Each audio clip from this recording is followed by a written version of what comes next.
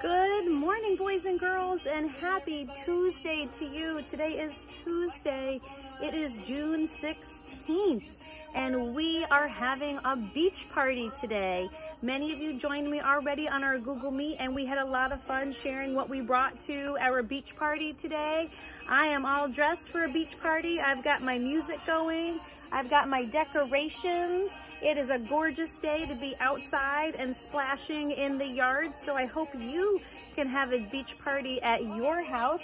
I brought some fun beachy snacks and I have my nephew um, Everett to thank for sharing this great dolphin idea. So I've got my crab. I got to watch out he doesn't pinch me with his croissant claws. I've got my goldfish swimming around and I've got my dolphin swimming in a sea of blueberries. So I am ready to have a fabulous beach party today. And if you didn't get a chance to join us this morning, I hope you'll send us a picture and let us know how you're enjoying this beautiful day. And tomorrow is our last day of kindergarten. After tomorrow, you are officially done with your school year. Woo! So be sure to tune back in tomorrow because I have a couple more videos that I created for you to celebrate our last official day of kindergarten.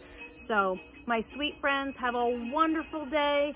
Get outside, splash around, and take care. I miss you so much. Mwah! Have a great day, friends.